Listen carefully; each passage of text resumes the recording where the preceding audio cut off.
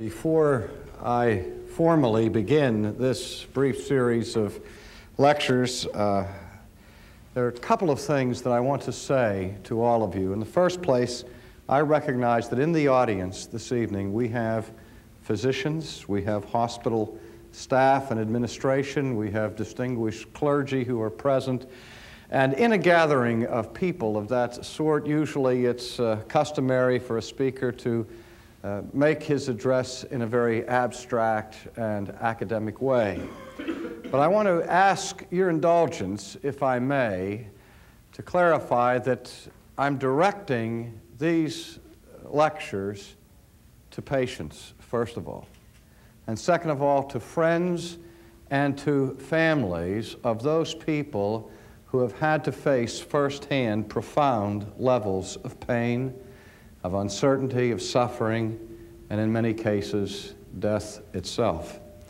And the other thing I want to say by way of preface is that uh, as I address these very difficult matters, I'm not going to be speaking as a physician or as a psychologist or as a philosopher, as even Dr. LeMaitre intimated, but I will be speaking from a dual perspective, first as a theologian, but more importantly, as a human being.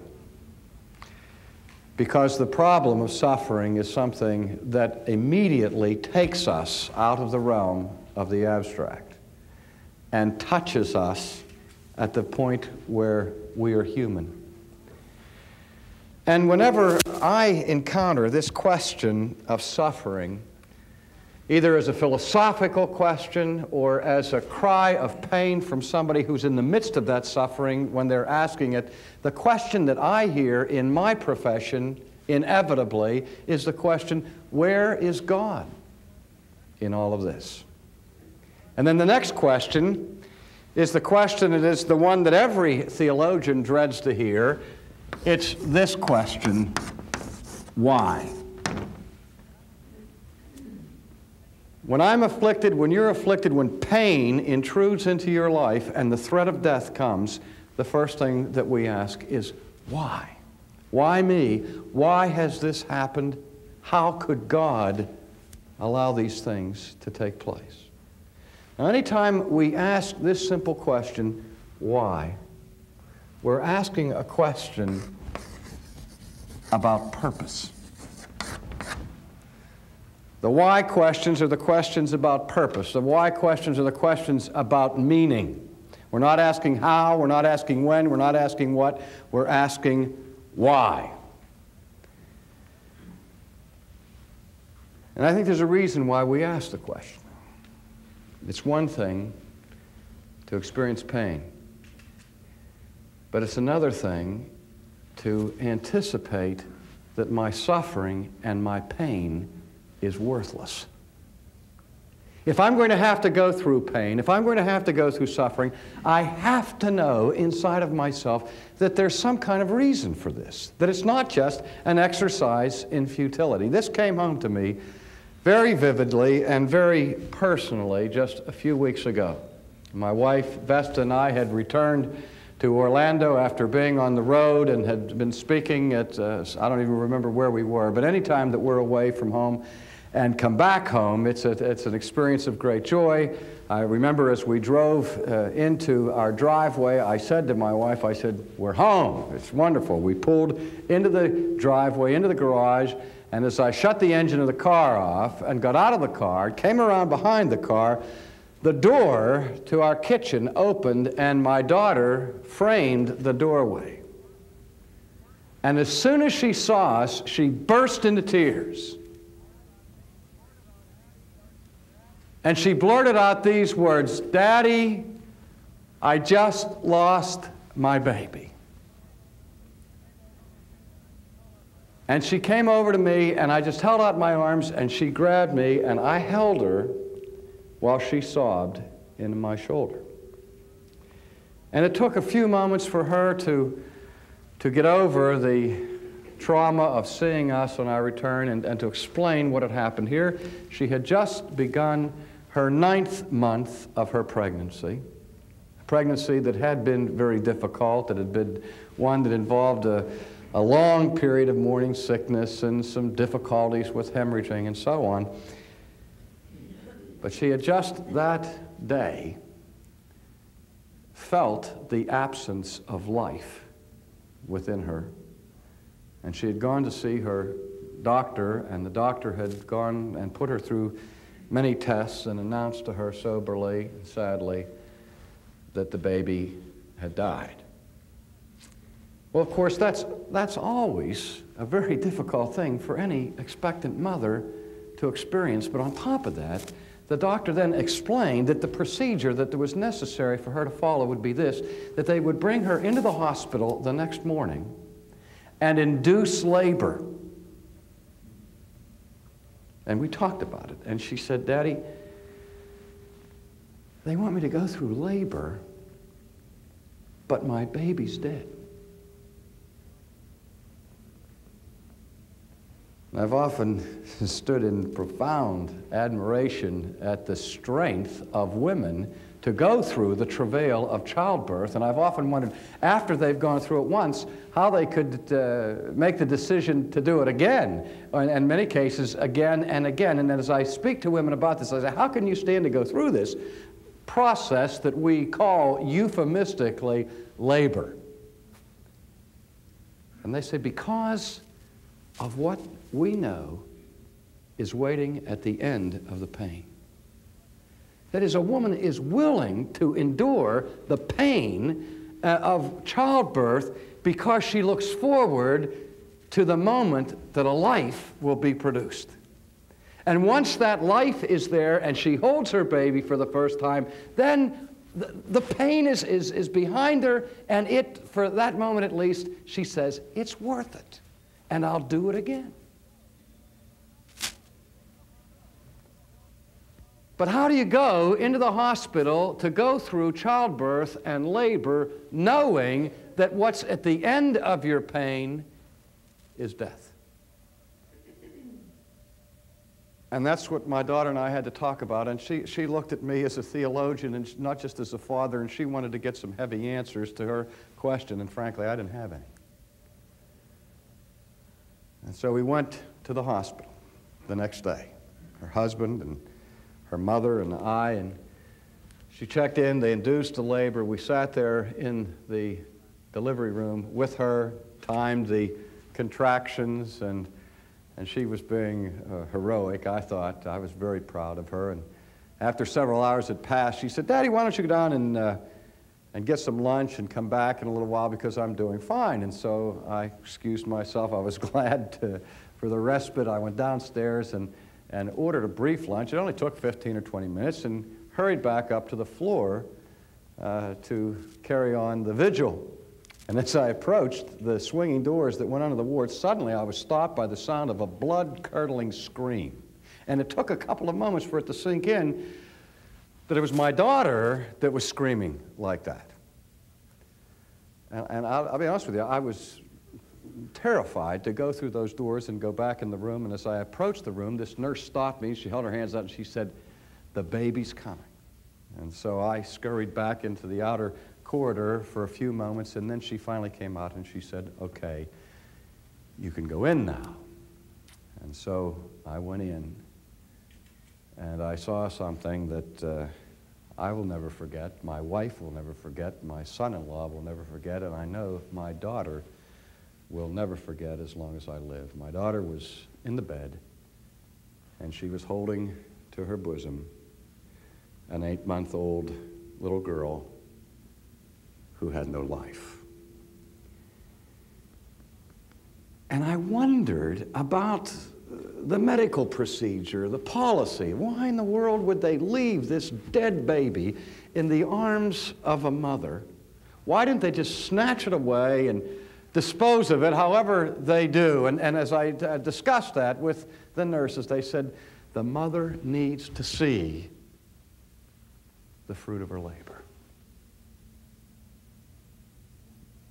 And so she held the baby for 45 minutes, for an hour. They came in, they took pictures, a lock of hair, gave her a name, and did all of these things. And My daughter cried, and I cried, and her husband cried, and everybody cried.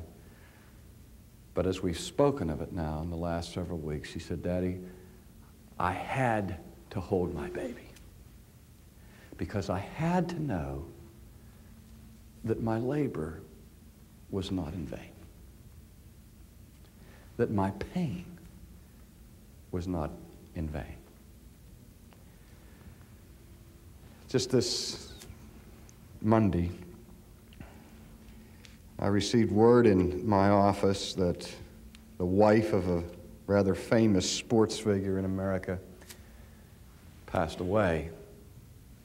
Bob Griese, the all pro former quarterback of the Miami Dolphins, his wife, young wife, Judy, died this week after battling cancer for 10 years. Now, I'm not a, a, a, close personal friend of the Griese family, but I was in Miami a month ago and I was doing a series of lectures. And after one of these lectures, a woman came up to me, pressed through the people, and came up to me and she said, R.C., she said, I'm asking you to do a personal favor for me. And I said, What's that? She said, I have a dear friend who's been fighting cancer for 10 years, and she's really down right now.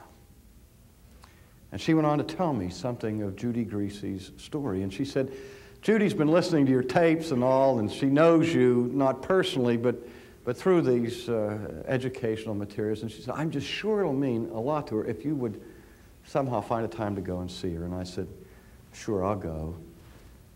And I'll be honest with you, I, don't, I can't remember feeling more inadequate than when I got in that car to go and visit a woman who had been battling this disease for 10 years. And we drove into this very lovely section of Miami, and I saw the Griese home. And the Griese home is a very nice home. And, and the irony was that right across the street was the home of the Buoniconti family. And you'll remember, those of you who follow professional sports know that Nick Buoniconti was an all pro uh, linebacker from Miami, and he's been much in the news for the last couple of years because his son, who was a very talented athlete, was paralyzed in an injury and has become a paraplegic. And so a pall of suffering was hanging over these neighbors, over these longtime friends. Well, this lady took me up to the house. We rang the doorbell, and Bob answered the door, and he took me into the family room. And Judy was sitting back there in a chair, and I came in and I sat down next to her in the chair. And, and dear friends, I had no idea what to say to her. And she looked at me, and the tears started to just roll down over her cheeks. And she, and she said, R.C., I don't think I can take it anymore.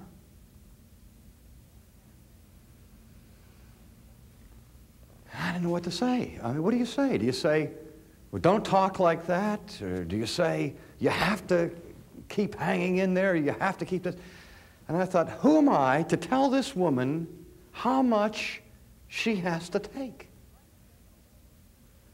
So I didn't say anything. I just held her hand. And I sat there feeling more and more and more inadequate by the moment as I held her hand for about 45 minutes and just listened to her talk. And when we were finished, we had some prayer, and I left. The next day, I got the report that she fell down the stairs and was carried into the hospital, and she never came home from the hospital. It was basically the end. But this woman came to me the next day and she was all excited and she said, Oh, she said, you just can't believe how wonderful it was last night when you visited Judy Griese. And I said, I didn't say anything. I, said, I said, I was so embarrassed. I said, I know she was looking to me to give her some words of comfort and of wisdom and to explain the secret counsel of Almighty God, which I'm not equipped to do no matter how much theology I've studied. And I said, I didn't do anything. All I did was sit there and hold her hand for 45 minutes. And she said, But that's all she wanted. And that's all she needed. She's heard all the sermons, and she's heard all the platitudes. But she just wanted somebody to show her that they cared. And she said, whether you like it or not, because you're a minister, you represent the presence of Christ to her. I said, wait, hey, it's a poor representation. And I thought at that moment of a statement that Martin Luther once made. He said, It's the duty of every Christian to be Christ to his neighbor. Now, Luther was too fine of a theologian to mean that statement in a literal word. Martin Luther understood that no one of us can ever fill the shoes of Christ. But to be a Christian means to represent Him, to bring His comfort, His peace, His understanding, and not His judgment to people who are in pain. I don't very often get the opportunity to, to listen to the televangelist, that's the new word that's been coined this year, the TV preachers, but I did hear not too long ago, I heard one of these preachers, I couldn't even remember at the moment who it was, but he was standing up and he, he made this statement to the people out there in television land. He said, I want you people to understand that God has nothing whatsoever to do with suffering. And that God, God doesn't have anything to do with death. Death is, is something that intrudes into the creation of God. And then, of course, this minister went on to say and to assign all pain and all suffering and all illness and all death to the devil. And as I listened to that, to be honest with you, I wanted to throw something through the TV screen. And I, I, tried, I tried to understand what would possess a minister, whether he's a television minister or any other kind of minister, to stand up and tell people that God doesn't have anything to do with suffering or that God doesn't have anything to do with death. And the only thing I could come up with was that this minister somehow wanted to answer the problems that people have when suffering comes upon them because some people get mad at God. Some, a lot of people get mad at God. They say, hey, you know, this isn't fair. How can you uh, let, the, let this sort of thing happen to me? Again, why? Where is God in all of this? And what the minister on television was trying to do so carefully was to absolve God from all guilt and all responsibility for ever allowing anything unpleasant to befall one of his dear creatures. Just like the philosophers used to say that if God is really loving and if God is really powerful, then he couldn't possibly allow all of the tragedy and the pain and the suffering and the sorrow that happens in this world to happen. And so the minister on television neatly tied it up in a package for us and said, God simply doesn't have anything to do with it. Now, I'm sure that what he was trying to do was to make people feel comfortable because they couldn't, didn't want to have to think about a God who might, in fact, be involved with their pain. But two things jumped into my mind at that point. The first thing, I thought, I wonder if this man has ever read the Old Testament. I wonder if this man's ever read the New Testament. Because the God of Judaism, the God of Christianity, is a God who majors in suffering. The whole history of Israel is the history of the sorrow and the pain of a people who were in a special relationship to God. In fact, how did the Jewish nation begin? You remember your history. It began when a, a group of semi nomadic people were pressed into slavery. And you've all heard of the Exodus out of which a nation was formed under the authority of God. How did it happen? The biblical record said this that when the people of Israel were locked in bondage in Egypt, they began to cry. They began to groan. They began to express their pain, and we read these words And God heard the cries of his people. And God said, Let my people go. That's how it all started. And from that moment forth, we see a history of a deity who is intimately involved in the pain and in the suffering of his people. It's not by accident, ladies and gentlemen, that in the New Testament, Jesus is identified as a man of sorrows who is acquainted with grief and he is called the fulfillment of the prophet Isaiah's future expectation of one who would be known as the suffering servant of Israel. So far from the idea that God doesn't have anything to do with death or God doesn't have anything to do with suffering is the scripture is that God is the Lord of life, He's the Lord of death, He's the Lord of pain, He's the Lord of suffering.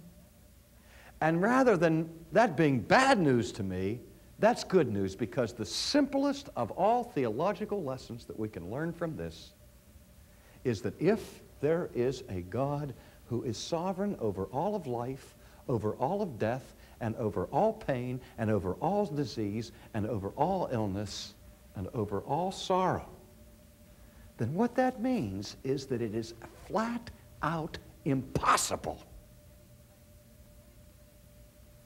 that any pain could ever be without purpose.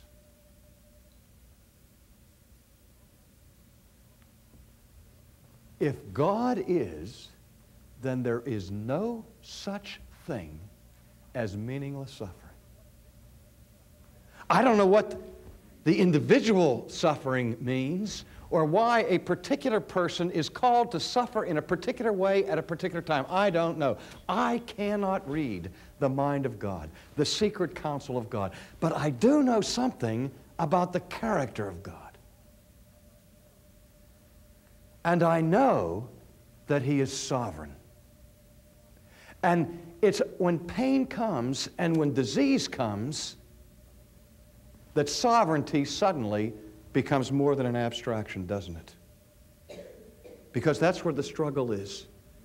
Can I trust God in this or not? Now, I was talking with one of the members of the staff here of MD Anderson about problems that people experience when they are afflicted with cancer.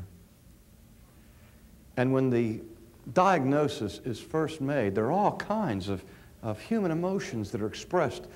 There's anger, there's fear. But one of the stronger emotions is surprise. Because we like to think that these kinds of diseases and this kind of suffering can never or will never come into our lives. And that surprise becomes all the more accentuated when we hear ministers out there telling us that, uh, you know, if you believe in God and you believe in Christ, you never have to worry about pain and suffering. That's just not true. That does not comfort us when we need to be comforted. The shock of, of pain and disease changes. I, I, I, have a little grandson that's uh, three years old, and uh, he's, you know how kids are. They're so uh, oblivious to all of the, the sorrow that's, that's in the world. And they're enjoying life. And, but then all of a sudden, they, they bang their, their fingers with a hammer, or, or they fall down and they scrape their knees, and, and this little one will come in and he's crying crocodile tears. And, and I'll say, What's the matter, Ryan? He says, I have an ouch. And I say, Well, uh, what can I do? And he says, well, I want a, an aid band Or he says he wants me to kiss it because if I kiss it, then the ouch will go away and it'll be all over. And that's the way a lot of the pain and sickness and disease in children turns out. Not for everyone. We can go here to the pediatric ward at MD Anderson and see children whose illnesses cannot be kissed away. But for most people, our childhood diseases are over as quickly and as suddenly as they came upon us. And we sort of distance ourselves from more serious. Remember when I took our daughter in to have her tonsils out, and, and oh, what a wonderful experience. You know, you're going to go to see the doctor. And we read all the books and, uh, and, uh, and promised her all the toys and presents. You're going to have ice cream. You're going to have all these wonderful things. And she came in the pediatric ward in Pittsburgh, and, and they gave her the toys to play with and a nice, uh, pleasant roommate and so on. Both these little girls were playing, getting ready the night before.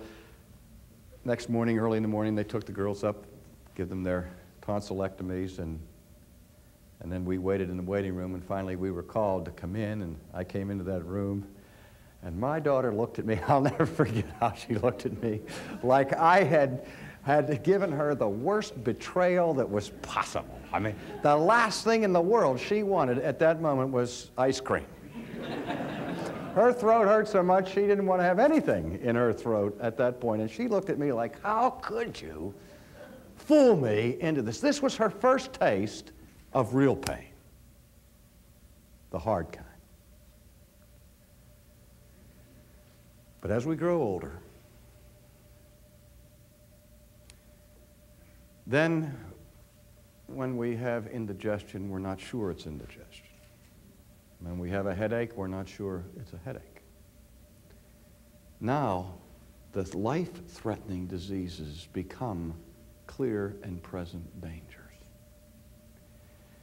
And for some, they hear the announcement that their disease may be terminal. And at that moment, the surprise hits. Even though we've spent our lives being prepared for this possibility, it is still a surprise. And theologically, it's the worst surprise because we're still forced back to this question why? How could God allow this to happen? And that's why I just, for this first segment, I want to leave you with one statement from the New Testament that I think puts it in perspective. When St. Peter wrote to his people, don't, you don't need to look this up in, in the first epistle of Peter, in the fourth chapter, he makes this statement Dear friends, think it not strange that you are suffering a painful trial, as though some strange thing were happening to you. Isn't that interesting? Think it not strange. That's because by this point in his life, Peter understood that God was intimately involved with suffering. And that for a person to be called upon to suffer is not surprising once we understand who God is. Now, in our next segment, what I want to explore with you is this an idea that maybe you've never thought of, maybe you have. I want to explore the idea that not only God is involved in our suffering and that God may be with us in our suffering, but there may be times when God actually calls us to suffering. That suffering and at times death can be the vocation of a human being. Now, that may seem strange to you, but I want to explore that as we look at a case study in vocational suffering in our next meeting together.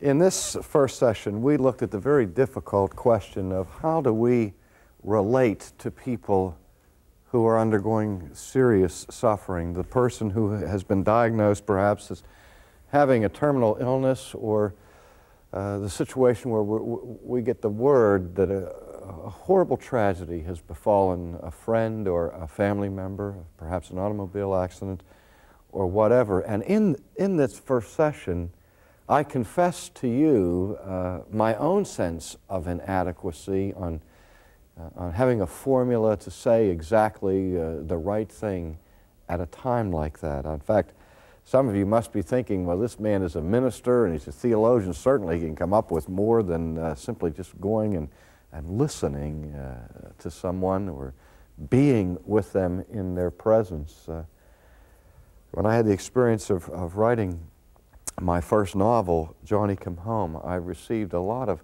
uh, of letters. Some of them were very, very negative and critical about that novel.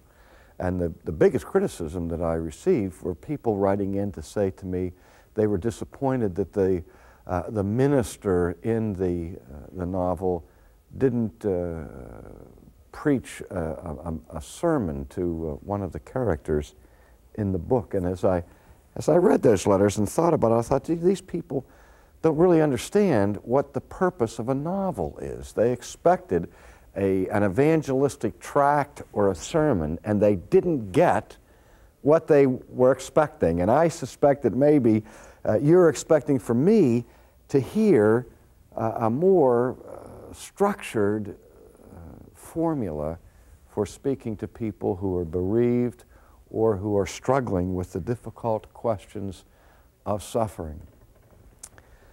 But I think it really is important that we don't have a, uh, a pat formula to use in these circumstances. In the New Testament, Jesus promises us that he will send into our midst the Holy Spirit who is our comforter. Now, of course, the, the original intent of that uh, statement of Jesus was to, to send one who would stand with us in the time of trial and in the time of tribulation, to be our defender, but also, he tells us that there is a comfort that God promises to give people in this world. Now, sometimes the way in which God brings comfort to his people is through us. Luther once made the statement that every Christian is called to be Christ for his neighbor. Now, obviously, Luther didn't mean that in a, in a crass sense where I'm supposed to be uh, acting like a Messiah and think that I'm the Savior of the world, but rather that I am to, to be the presence of Christ to those who are in pain and to those who are frightened by uh, being a vehicle or a conduit of His comfort. Now, what I'd like you to do as you're studying these tapes, and perhaps right now, uh, if you have a, an opportunity for group discussion, is to, is to deal with two questions. The first question is this Suppose you were called to the scene of a Judy Griese or to a home where uh, the word had just come that the, a family member had been killed in a tragic accident. And it was somebody that you knew and somebody that you cared for. First of all, how would you feel about speaking to the family at that time, and what do you think you would say? I'd like you to, to think about that, and if you're in a group, to discuss that among yourselves to see how, how the different uh, ways uh, we would respond to such a situation might be. The second question I'd like you to discuss is a little bit more personal. If you can imagine yourself in a situation of serious pain and suffering. And one of your friends or your minister came to visit you. What would you want them to do or to say? I mean, I can imagine some of you may, may say to yourself, well, gee, if, R.C., if you came to see me and, and I was dying of cancer and you said nothing but just simply sat there and held my hand and listened to me, I would be disappointed. I would be let down because I would be looking to you to say something more, to give me some kind of hope or encouragement with your words. Well, let me ask you to try to imagine that situation now and discuss it among yourselves, saying, What would you want your friend or your pastor to say? So that we can express these things with each other and learn how to be sensitive to other people who face this difficulty.